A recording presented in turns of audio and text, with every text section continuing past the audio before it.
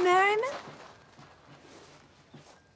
Miss Felicity Merriman, may I present Miss Annabelle Cole and Miss Elizabeth Cole? Felicity. Hello, Elizabeth.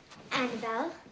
We're taking lessons with a shopkeeper's daughter? My father's store is the finest in all of Williamsburg, probably in all the 13 colonies. The King of England himself. Ladies, your parents have entrusted me with the important task of preparing you to take your places in society.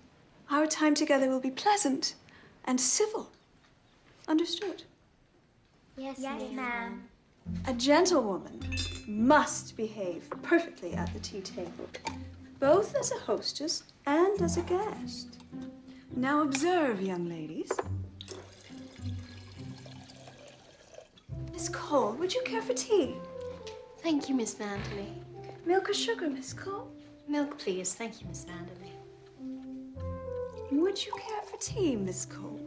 Yes, please. Thank you, Miss Manderly. Milk or sugar, Miss Cole? Milk, please. Thank you, Miss Manderly. Miss Merriman, would you care for tea? Yes, thank you, Miss Manderly. Milk or sugar, Miss Merriman? Milk and sugar. Thank you, Miss Manderly. Would you care for a cake or a biscuit, Miss Merriman?